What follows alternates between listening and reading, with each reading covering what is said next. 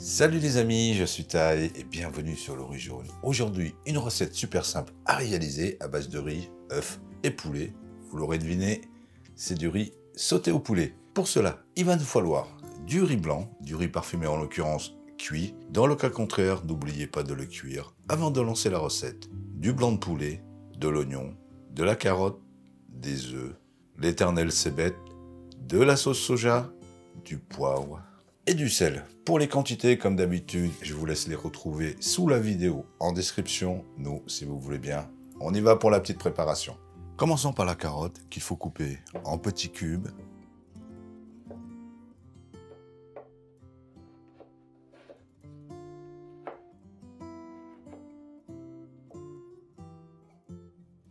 Ciseler un demi-oignon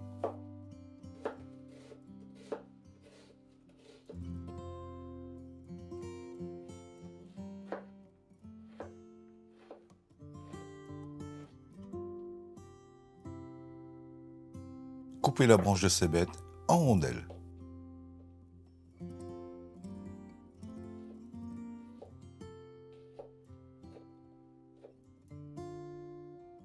Pour le blanc de poulet, le tranchez tout d'abord en trois dans l'épaisseur.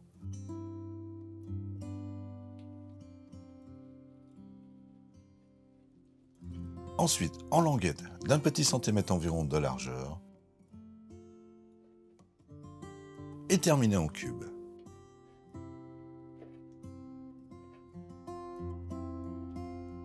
Le transférer dans un bol, assaisonner de 2 cuillères à soupe de sauce soja,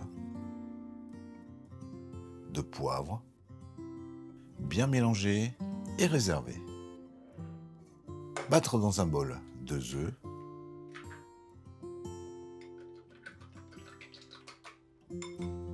Et si votre riz est prêt, on passe à la cuisson. Commençons tout d'abord par blanchir 3 minutes dans l'eau bouillante les cubes de carottes, les égoutter et les refroidir à l'eau froide.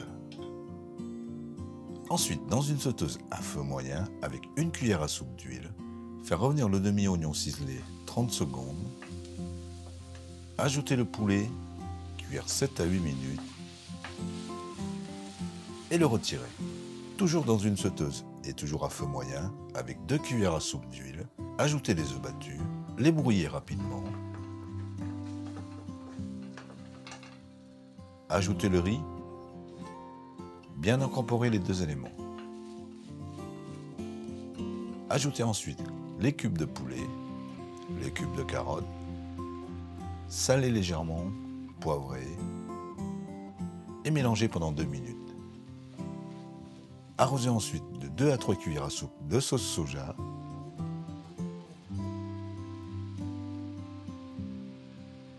Mélangez, réajustez l'assaisonnement et terminez avec les rondelles de cébette que l'on mélange rapidement. Dressez.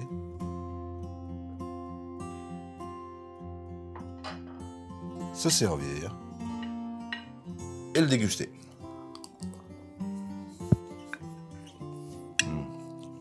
Parfait, vous pourrez le déguster tel quel ou alors servir d'accompagnement avec votre plat préféré.